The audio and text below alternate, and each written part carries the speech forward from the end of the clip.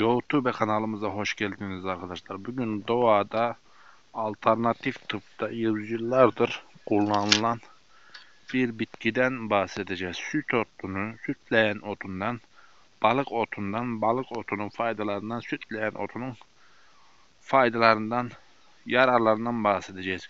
Gördüğümüz gibi kıraç topraklarda yetişen en tesirli sütleyen otunu arayıp bularak sizler için göründük, görüntüledik.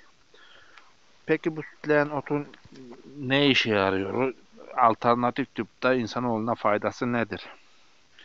Sütleyen otu alternatif alternatif tıpta yüzyıllardır atalarımız bir harici haricen kullanılan ilaç olarak kullanılmış. Yani oral yolundan alınmayan bir e, krem niteliğinde bir ilaç olarak kullanmıştır. Yara iyileştiricilerde, sihirlerde, egzama gibi işte basur gibi hastalıklarda bu sütleyen otunu şu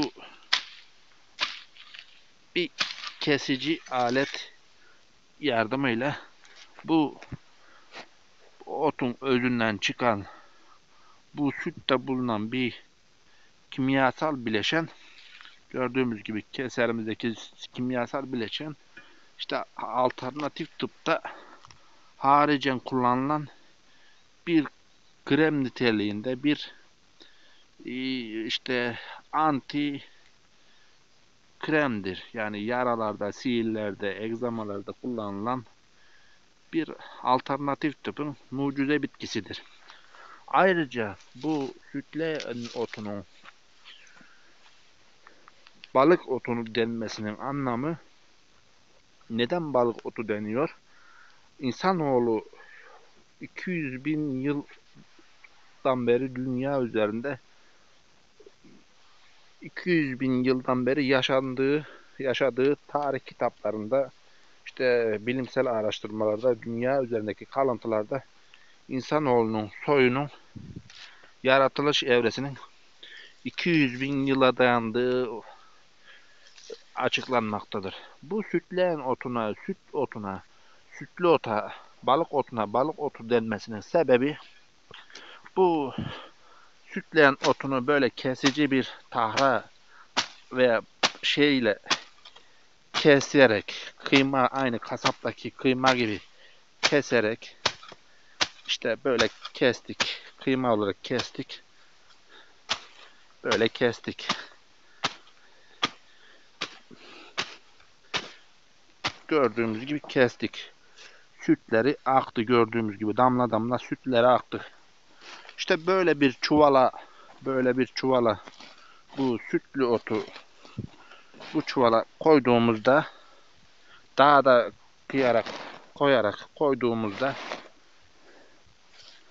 bunu akarsularda, göllerde, nehirlerin kenarlarındaki göllerde veyahut da küçük dereciklerde suya attığımızda suya attığımızda bu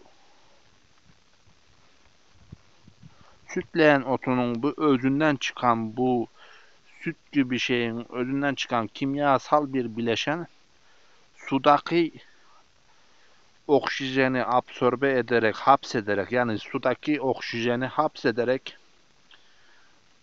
suda yaşayan balıkları kısa süreliğine, kısa bir zamanlığına şok etkisi yaparak, şok etkisi oluşturarak atalarımız, ecdadımız bu sütleyen otundan yüzyıllardır, yüz binlerce yıldır balık da avlamıştır. Bazı internet sitelerinde bu sütleyen otundan çok vahşi bir şekilde bahsediyorlar. Şöyle de böyle de aslında şöyle zehirli de şöyle de böyle de.